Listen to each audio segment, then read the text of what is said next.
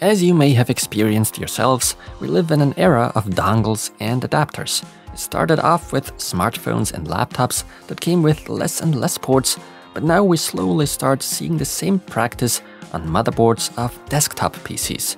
We are therefore increasingly dependent on dongles, adapters, and overall extensions. At least those of us that need more connectivity than we are being offered nowadays. Of course, there are internal solutions in the form of expansion cards, but these can't always be used universally and conveniently. So could dongles, adapters, hubs, and or docking stations come to our rescue? How well do they really work, and what about the speeds? Also, I'll be covering a bonus topic today, namely what good external M.2 SSD cases really are, and whether or not we lose out on any SSD performance at all, and if we do, how much. That is when compared to having the SSD installed internally. To help and give you a better example of what I'm dealing with today, I'll be using two Orico products. One is a 90 US dollar USB-C docking station with hub functionality for USB ports, HDMI, charging, and a gigabit LAN port, SD card reader, and an integrated M.2 SSD slot. As a contrast, there's also a cheap product from the same brand, an ordinary USB 3.0 hub that also comes with an SD and microSD card reader and costs around 8 to $10. Do these products really work and are they keeping their promises or is there something we should be watching out for?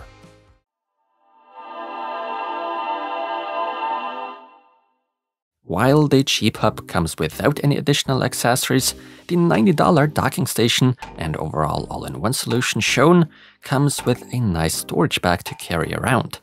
Inside is our product. We not only get a 10 gigabit per second USB-C cable, but also an M.2 SSD heatsink, including a tray and thermal pads. So what is the 8 to $10 hub offering? My particular model has three USB Type-A ports, all of which offer a bandwidth of 5 gigabits per second.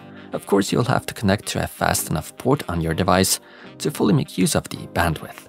I should probably also point out that a lot of such hubs don't allow for devices to be charged. This also applies to the model I have here. Furthermore, we are offered a full-size SD card reader along with a microSD card slot both of which can be used simultaneously and are said to be able to transfer with up to a max speed of 104 megabytes per second. So are we losing out on any USB speed or not? As a reference value, I've plugged in my fastest USB flash drive I had, which reads at almost 440 megabytes per second and writes at 400 megabytes per second. If the same flash drive is now connected to the hub mentioned, I measure these same values overall with only minimal deviations. Video files from my SD card can be transferred at a respectable speed of around 85 megabytes per second. That's my SD card's max speed already, it's as fast as it goes. So what kind of connectivity does the more expensive docking station offer us at $90? First of all, the option of installing an M.2 NVMe SSD in it, and that's with a size type of even 2280. By the way, the whole body is aluminum, so it makes a high quality impression, although the cover on top is plastic. It attaches magnetically. Since M.2 NVMe SSDs are known to run quite hot, there is a heatsink set included. Frankly, it looks fairly decent. I'm positively surprised. We also get a total of three thermal pads. Now in order to install the SSD, you place it in its provided tray then pull off the protective strips from the thermal pad, and then carefully place it on top of the SSD, which of course is quite difficult for me with the camera rolling and doing this from behind the tripod. After about 7 minutes of utter clumsiness, I did finally manage to do it. In the end, you simply push the heatsink in place so that it snaps into those grooves, allowing for sufficient pressure on the thermal pad. Now it's time to clip on this little plastic holder to the back of the SSD, and once it's locked in place, rotate it slightly to keep the drive from moving. All that's left to do is to put the cover back on. As far as further connectivity is concerned, we have the PC input to actually connect to a PC or laptop, and a USB-C PD 100 watt charging port, so up to 100 watts of power can be provided via the docking station. Then we get a USB 3.2 Gen 1 port with a bandwidth of 5 gigabits per second, HDMI with support for up to 4K at 60 Hz, as well as a gigabit Ethernet port. On the other side, we see a USB-C 3.2 Gen 2 10 gigabit per second port, then another one, but as Type A, followed by yet another Type A port, but limited to 5 gigabits per second. Last but not least, card readers for SD and microSD cards. Now what are these speeds like? Let's start with the M.2 SSD. As a reference value, I first installed it internally, which it actually is intended for, via PCIe 3.0 X4, translating to a bandwidth of 32 gigabits per second. When reading, we're looking at almost 3500 megabytes per second, when writing, 2500 megabytes per second. Now when the M.2 SSD is installed and connected externally via the SSD enclosure, I only read out a solid 950 megabytes per second for read and almost 760 megabytes per second for write. This is probably due to the fact we are dealing with a different bandwidth.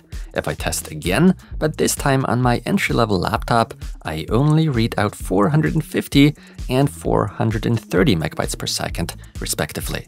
So it entirely depends to which source device you're hooking up such an external SSD.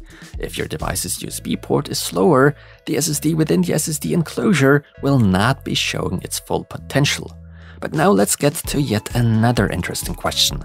Can one expect differences in transfer speed when comparing cheap USB hubs with more expensive ones. Of course, one can't simply generalize that, since it greatly depends on the brand and model, but in my case, I couldn't measure any significant performance differences. The SD card readers are about the same speed, and the USB speed is almost identical. But that's because my USB flash drive is the bottleneck here, and simply can't make use of the full 10 gigabit per second bandwidth of the faster hub. So to get back to the question in the beginning, yes, unless you buy some kind of garbage, products of this type do keep their promises. However, one should always keep in mind the ports you connect such docking stations, hubs or adapters to. If the port on your source device such as PC or laptop is too slow or simply too old, you'll only see limited functionality and speeds. Personally, I find it sad that we have to go for these external solutions more and more often, all because laptop and motherboard manufacturers skimp on the amounts of ports. Still, at least, there are good solutions out there that can help us out.